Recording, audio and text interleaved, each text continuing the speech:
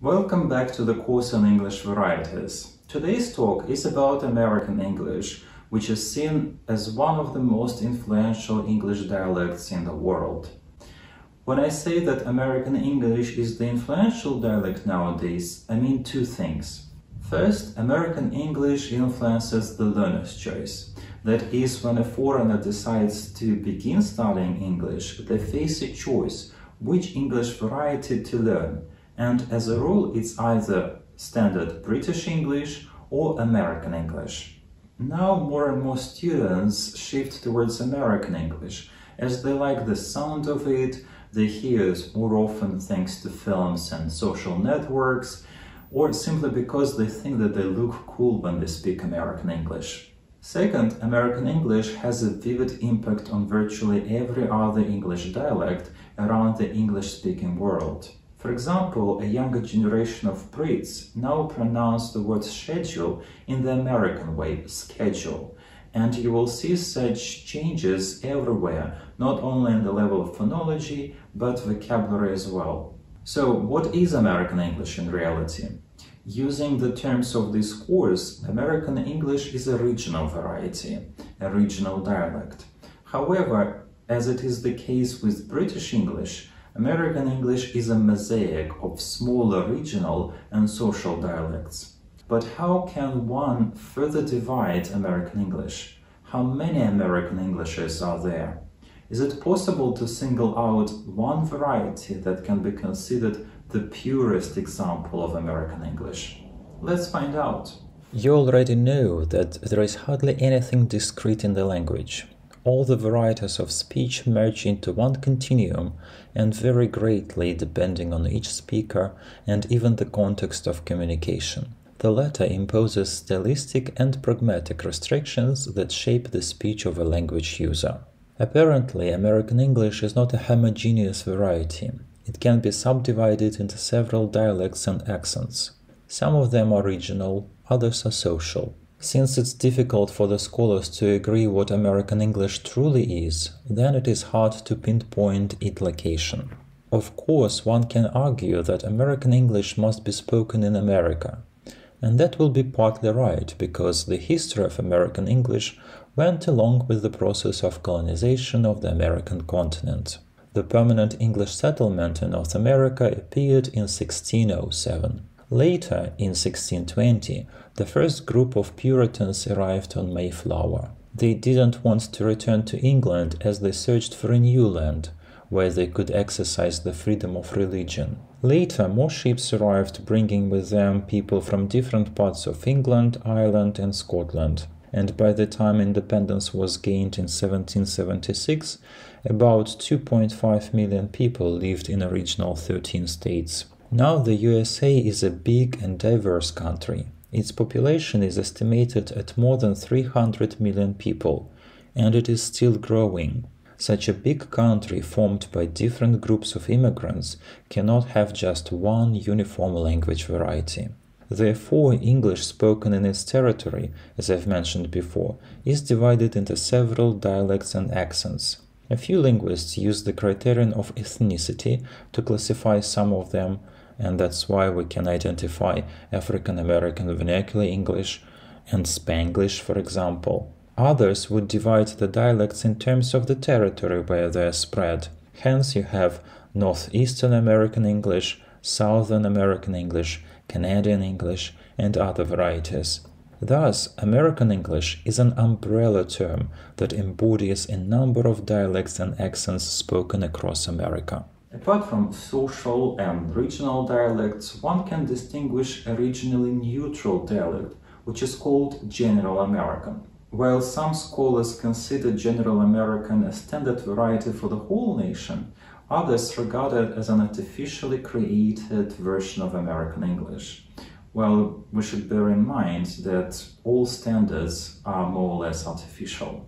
Nevertheless, General American is mostly heard on television and radio and hence sometimes is referred to as network English. General American accent has a number of specific phonological properties that distinguish this accent from those spoken in New England and in the deep south of the country. and since it is spread on a very large territory, it does not reveal the exact birthplace of its speaker. Therefore, it is referred to as regionally neutral. However, as RP, which is considered to be regionally neutral for Britain, is still associated with the Southern English varieties, scholars tried to localize General American as well. Here I should mention William Labov, who tried to pinpoint General American in his series of telephone surveys. He found out that the closest regional variety to General American is located in the northern states of the country, between Minnesota and Michigan. Thus, one can cautiously talk about the origin of General American. This dialect is characterized by a number of conservative phonological features, which I'd like to discuss in great detail. First of all, General American is rhotic. That means that the sonorant r is realized as a postal velar approximant and is pronounced in every position. Another salient feature of General American is T voicing. Normally, the sound T is realized in intervocalic position as a brief voiced flap when it follows a stressed vowel. You can hear it in both within a word and also across word boundaries. For example, heating and I hated, which are not pronounced as heating and hated. This is also true if the sonorant r intervenes, for example, party instead of party, and before syllabic l, r, for example, metal, traitor, instead of metal, traitor. Note that in General American, T voicing typically leads to neutralization of the contrast t d. So heating, heeding, and heated and heeded sound the same. A further feature is that most Americans have yod dropping, following dental and alveolar consonants. For example, studio, nude, duke, instead of studio, nude, duke. Some American speakers have the dark L in all contexts. These features concern consonants. Even though they are quite noticeable, they do not constitute all the salient features peculiar for general American accent. Let's consider some of the features that concern vowel sounds. Since American English is rhotic, this feature influences greatly the system of diphthongs. The vowels before r have a special quality known as r coloring. You can hear it when I read the following words fur, bird, nerd, chair, pure, here. In the last three words, you can expect the so-called central diphthongs e, ue, ie.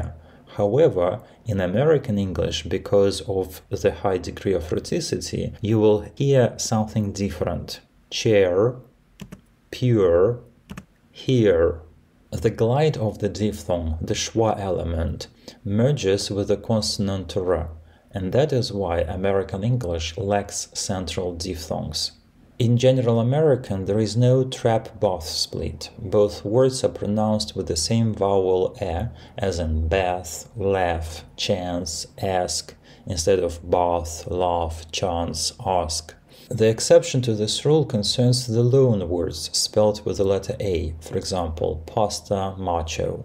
General American also has two more vowel mergers that characterize a broad variant of the American accent. Most Americans do not differentiate the vowels in the words like lot and palm, pronouncing them with the long R, lot, palm, so they sound the same. That is why when English speakers around the world are asked to imitate an American accent, they pronounce the phrase oh my god with a stereotypically more open vowel in the last word, oh my god.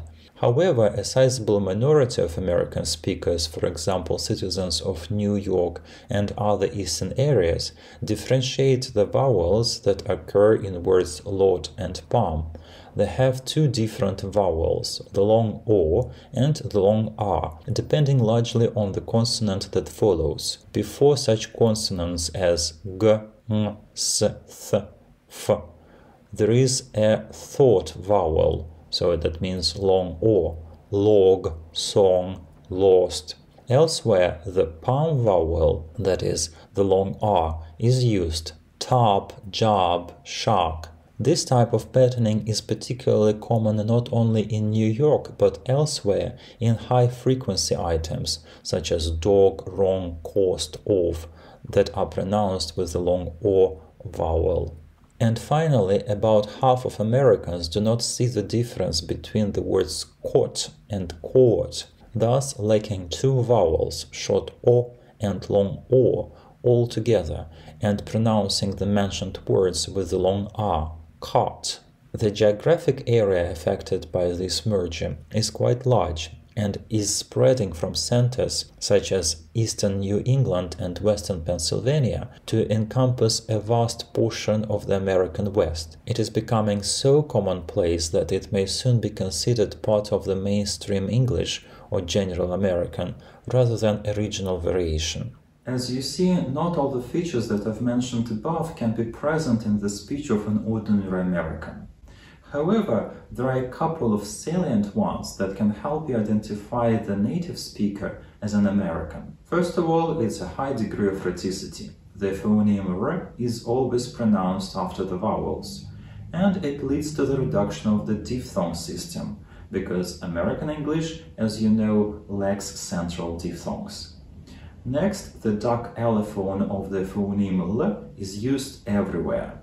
And finally, the phonemes t and d are realized as an alveolar flap in the intervocalic position. So that was the brief characterization of the phonology of American English, but you may rest assured that American English has its share of vocabulary and grammar features. However, I dare hope that you know the basic ones. That is why I would like to move on to the next point of my lecture that concerns ethnicity-based variety.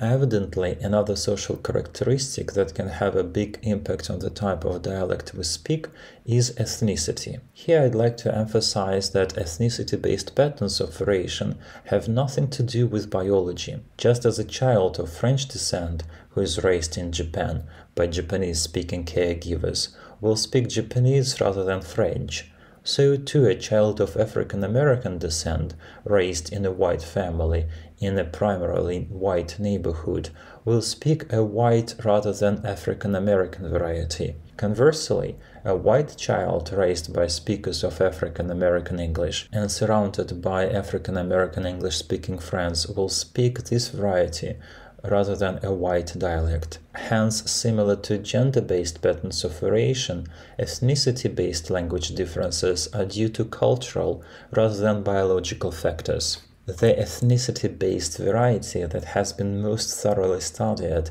is the variety often referred to as African American Vernacular English or African American English. You may also hear the terms Ebonics or Black English. Much of the early development of this language variety took place in the American South, so it shares many features with Southern white varieties. However, these shared features may be used to a greater or lesser extent in African American English than in white varieties, or they may pattern in different ways. For example, African American Vernacular English and Southern White dialects share phonological features like low degree of rhoticity and the pronunciation of the I diphthong as a monophthong R, for example, non for nine and rod for ride. However, the low degree of rhoticity is found to a greater extent in African American English than Southern White varieties. In addition, I monophthongization in southern varieties occurs before both voiced and voiceless consonants, as in rod and ride for ride and write. In African American English, however, R for I occurs only solely before voiced consonants, so that speakers of African American English will say rod for ride, but right for right. Another phonological feature concerns the pronunciation of the cluster ng at the end of words. General American retains the consonant ng, while African American English speakers utilize the nasal sonorant n in words like writing, that means writing. A further phonological phenomenon characteristic of African American English is TH replacement. For example, think for think and this for this. Some of the distinguishing morphosyntactic features of African American English include special rules for using copula be. However, we've discussed this feature in one of our seminars. That's why I'm not going to dwell on this longer. Perhaps I should spend more time discussing the point concerning cultural peculiarities. You know that while comparing regional dialects, linguists usually distinguish phonological, lexical, and grammatical features that set dialects apart. However, when the two ethnicity-based varieties of one and the same language are compared, it is necessary to bear in mind cultural differences as well. To illustrate this point, I'd like to refer to the example described by Deborah Tannen, an American linguist. She writes about an episode that shows that most American whites tend to regard verbal aggressiveness as threatening, whereas many blacks value it as a sign of engagement. The episode she describes is a conversation at a confrontational meeting that took place between university faculty and community representatives. At one point, a black male faculty member pointed a finger at a white female colleague and angrily accused, Professor so and so, you need to know something. You can't make me over into your image. Do you understand that? You can't make me over into your image. When he saw that the woman appeared frightened, he assured her, You don't need to worry, I'm still talking. When I stop talking, then you might need to worry. When the meeting was over, she accused the black faculty member of having threatened her. However, he was astonished by her accusation. His comment afterwards was, All I did was to talk to her. Now, how can that be threatening? Deborah Tannen explains that whites tend to regard fighting as having begun as soon as violence seems imminent, an impression they may get from the intensity of anger expressed verbally and the use of insults. In contrast, blacks do not deem a fight to have begun until someone makes a provocative movement. As a result, whites may try to prevent a fight by curtailing verbal disputes, whereas blacks conceive the danger of violence as greater when people are not communicating with each other rather than when they are, no matter how loud, angry, or abusive their arguments may become. So you can see that while dealing with ethnic varieties, one should always consider cultural peculiarities associated with various ethnic groups. Partly because of these cultural differences, African American vernacular English has long been embroiled in various controversies. In particular, this variety has long been looked down on in educational and other institutional settings, and its speakers are often still discriminated against. Although sociolinguists have been working for decades to convey their scientific knowledge about the regular patterning of dialects to the general public, incidents of discrimination illustrate that we still have quite a long way to go to eliminate dialect discrimination, as well as the racial prejudices that often underlie discrimination on the basis of language and language variety.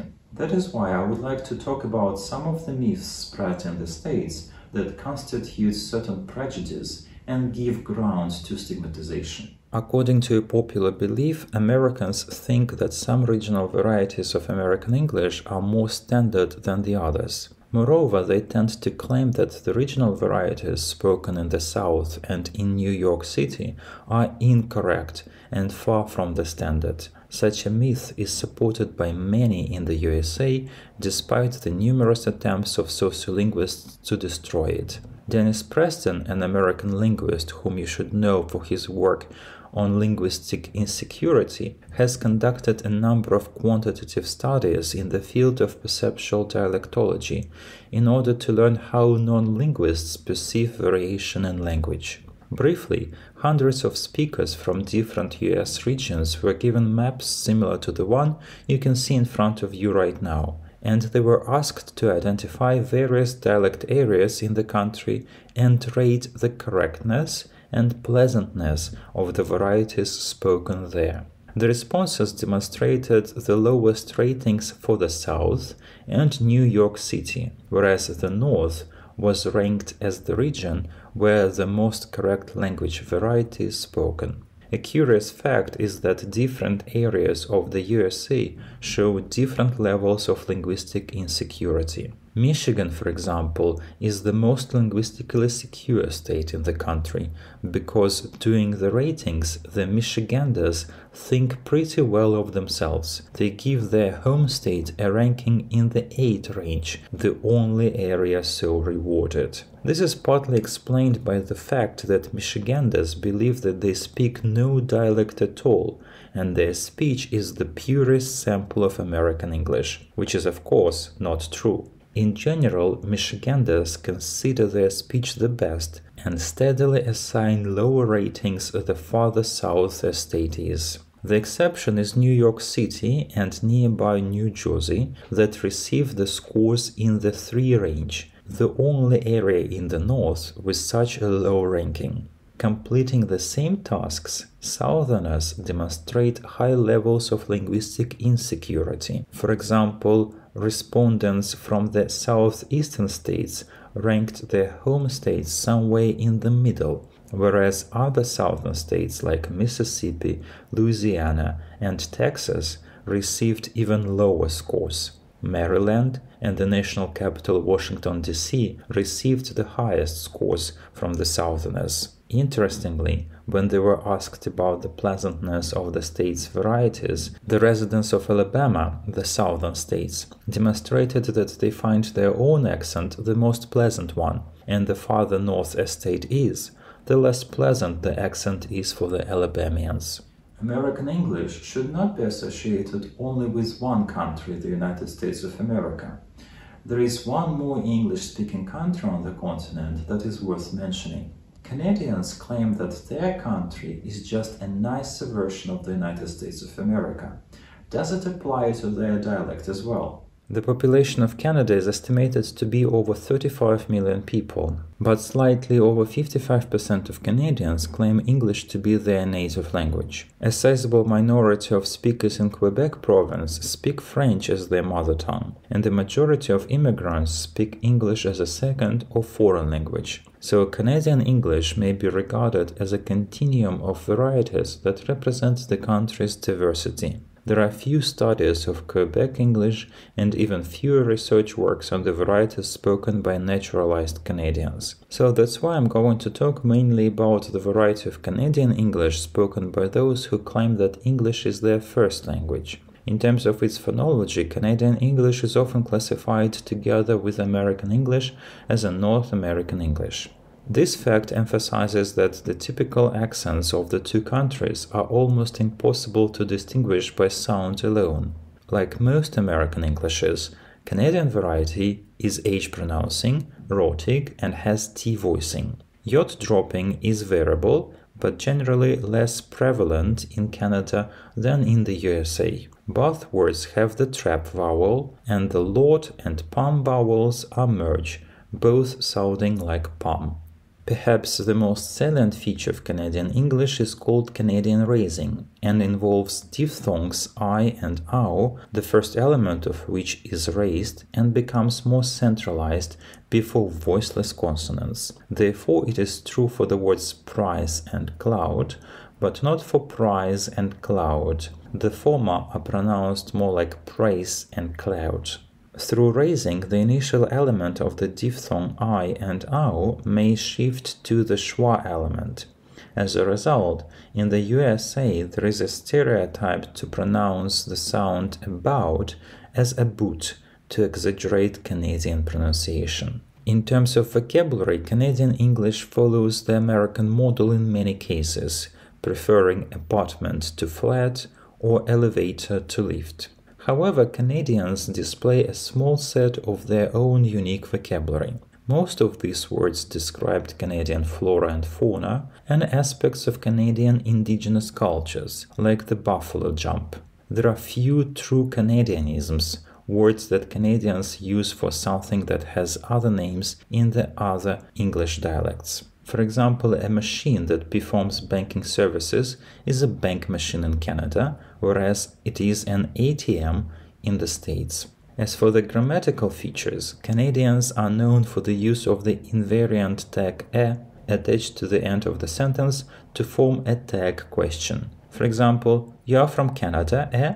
For you are from Canada, aren't you? However, recent research suggests that, at least among young Canadians, actual use of "a" is much less frequent than its popularity as the stereotype would suggest. To conclude, American English is accepted as a language model for many English learners.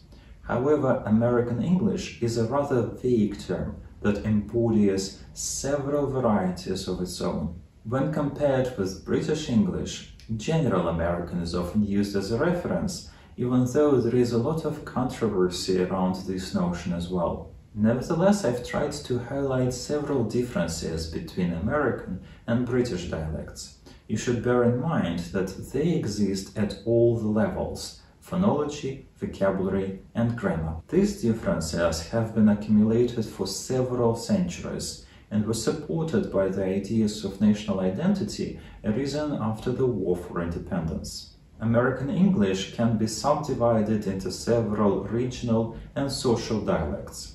Social dialects of American English can be further classified using the criterion of ethnicity. Some regional and social American English varieties acquire much praise, while others are seen as incorrect or ridiculous. Thus, dialect discrimination may still take place. I hope that this course has shown that any dialect is regularly patterned, and therefore is neither worse nor better than the standard version of the language, which is just a version, that is, just a dialect itself.